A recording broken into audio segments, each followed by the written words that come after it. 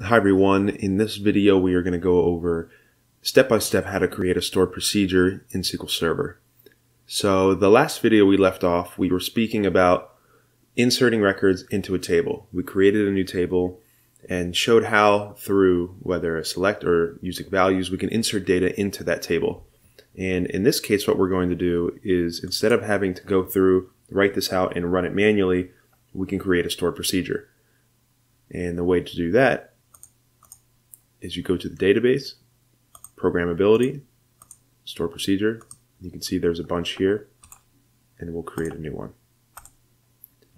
You can think of a stored procedure as it's an object that's going to store the code that you want to run, and you can call the code without writing the whole thing out. You're going to store it. It's a copy of it.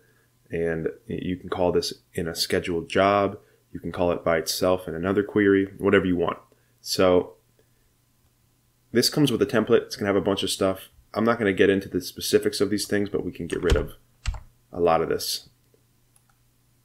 We can put our name as the author. I'll put my name, Michael Kahan, and create date today, February 5th, 2019. Tutorial stored procedure. It's a stored procedure is exactly what the name sound, sounds like. It is a stored procedure of code. Here is where we'll give it a name. And kind of like when we named a table, we need to first start it with the schema. So we'll use our same schema, demo, dot, and then the name of the procedure. We're going to call this USP update rep performance. You'll see a lot of times uh, you'll see USP in the beginning of these. That stands for user stored procedure. It's just a standard. It's a pretty well-known uh, prefix to use here. Here's where we would put parameters. We're not going to worry about that yet. We'll get to that later. I want to get to just the basics first. Uh, no account on or no count on. You can leave that. That's like it says here. It's just when you get a result, it'll give you the number of rows that were affected, but if you set this, it won't do that. And then here, everything after that is the main part that we're concerned with. This is what the actual code is going to be. So this is whatever you want. I mean, this could be a select statement and return a results set. It could be updating. It could be deleting, truncating. It could be all those things in a row. It's whatever you want. So just as an example, let's do our, our basic query here. Or you know what, let's use, let's use this here. Just the select portion. And indent it. If we were to just run this, this is the result set. I didn't run the actual procedure, just this highlighted portion of code. But the point is, when we call this procedure, once we create this, that's what's going to return. It's going to run this code. So now let's uh, go ahead and execute, create this. It created the object, which is created the stored record of this code that we can call whenever we want. So let's refresh here, right click, and there it is. And the way we call this, I'm going to copy this. We'll open a new tab, Control N to open a new one. And the syntax is exec, execute, and the name. So it came through here.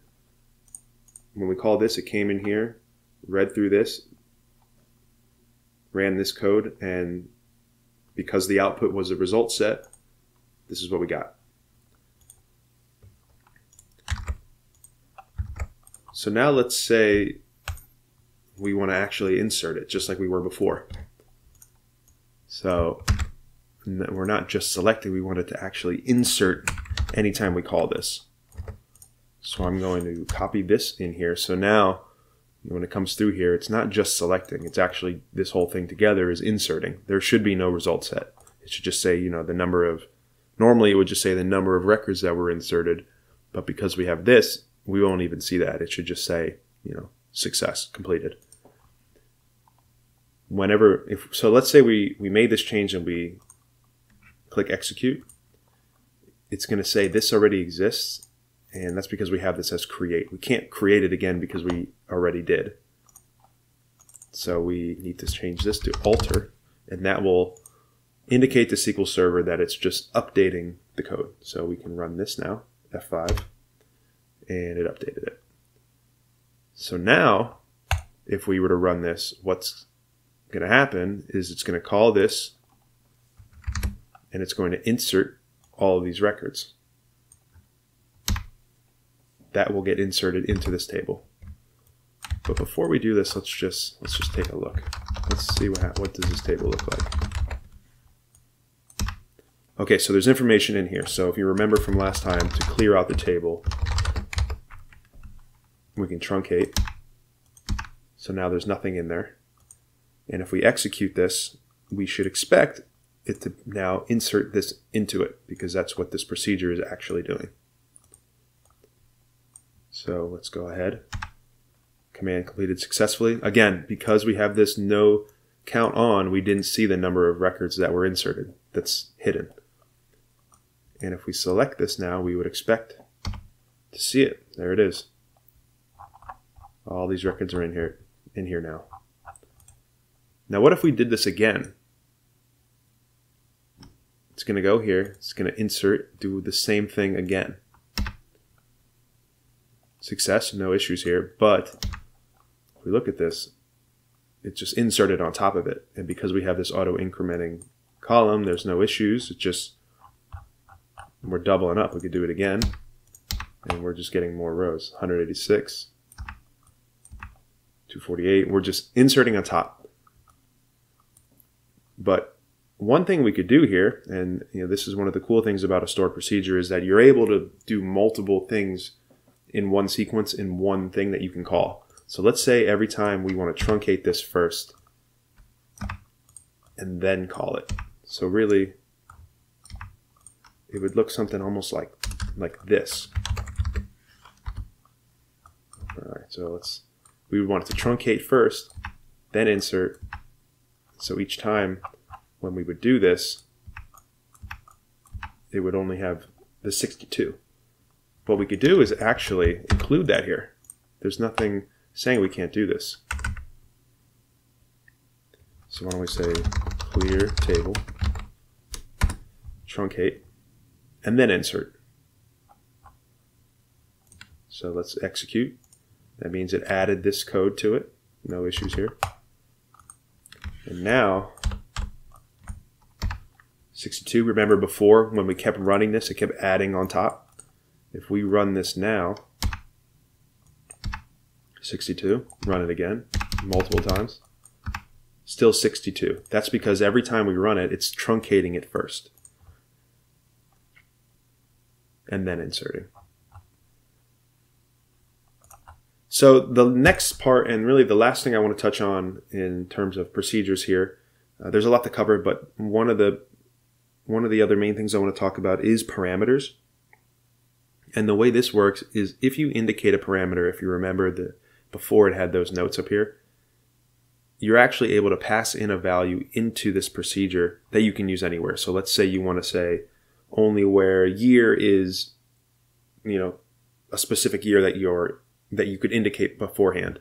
You could do that here. So the way you would do that is underneath the alter, the, the naming, you, you give the parameter a name, but first using the at symbol. So let's say, let's use that example, at order year, and give it the data type. So this is saying, here is the potential, here is one of the parameters that is expected anytime you call this. You need to put it in here.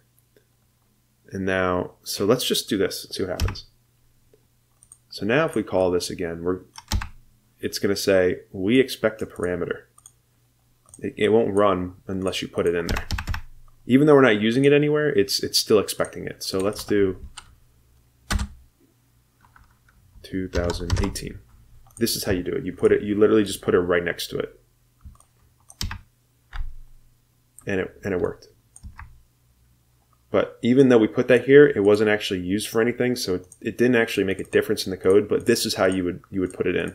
If you had multiple parameters, it would be comma separated. If you, one of them was a was a string, you would you know put that string there and you put your list of parameters. But let's say we want to use this. What we could do, we could add some more code down here. Let's say instead of just selecting all of them, let's let's have a condition here. Let's say where the order year, we'll just use this, equals quarter year, the parameter. So what this is saying is whatever we pass in here is going to be part of the select statement. So let's just say we, we made this 2018. What would this look like? Oh, nothing. So what? let's get some values. What do we need here?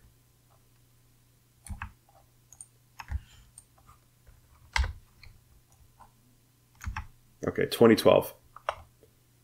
This is what would happen. It would select these and only insert these values. So let's try that. So we'll alter this procedure. So now order year is being used here. We'll set this parameter to 2012 and we'll expect it to pass this 2012 into this procedure, trim down this select statement and only insert those rows. No errors. And there we have it, 2012. Now let's say we did 2011. We're executing it. We're only seeing, when we look at the table, there's only 2011. And again, we lost the 2012 records because we're still doing that truncate.